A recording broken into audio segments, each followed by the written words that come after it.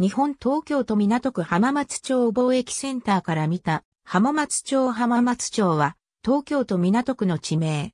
現行行政地名は浜松町1丁目及び2丁目。住居表示実施済み区域である。芝地区総合支所管内にあたるエリアの一つ。郵便番号は105-0013。港区北東部に位置し、JR 山手線、JR 京浜東北線、東京モノレール羽田空港線の浜松町駅、都営地下鉄浅草線、都営地下鉄大江戸線の大門駅がある。町域の大部分は浜松町駅、大門駅を中心としたビジネス街、商業地であり、ビル街の中に住宅が混在している。東京国際空港へ伸びる東京モノレール羽田空港線の起点駅があることから日本では主に駅名として広く知られている。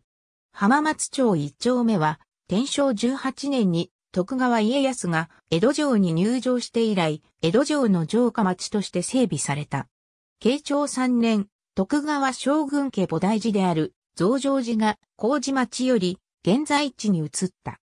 慶長6年には、東海道が現在の国道15号線上に定められ様々な店が並び商業地域の中心となり、軒を連ねる店の後ろには松平家や森屋、堺家など徳川将軍の家臣である大名屋敷が立ち並び、いわゆる江戸の町が形成された。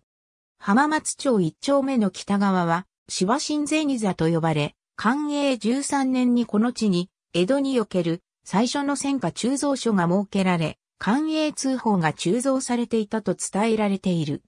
芝の鋳造所は、原文年間頃に姿を消したとされているが、後世まで新銭座として地名が受け継がれ、旧町名は芝新銭座町という。その後、福沢屋幸吉が誕生した明治2年。当時、福沢諭吉と慶応義塾は、この芝新銭座に今日構えていた。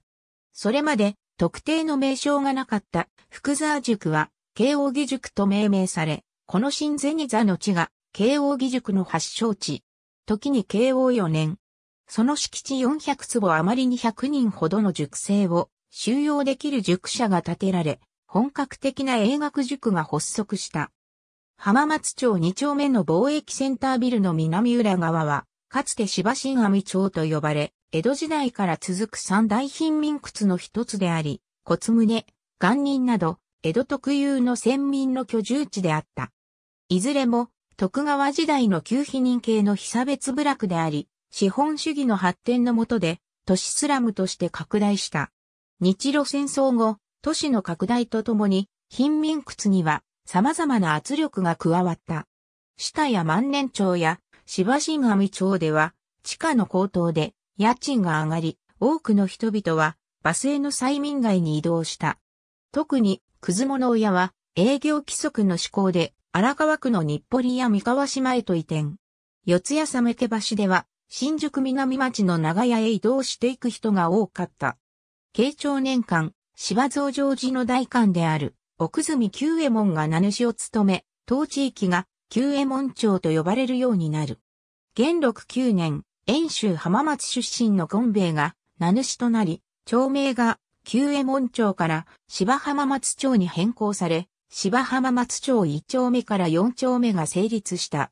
浜松町バスターミナル2019年8月1日、現在の世帯数と人口は以下の通りである。区立小中学校に通う場合、学区は以下の通りとなる。浜松町駅。ありがとうございます。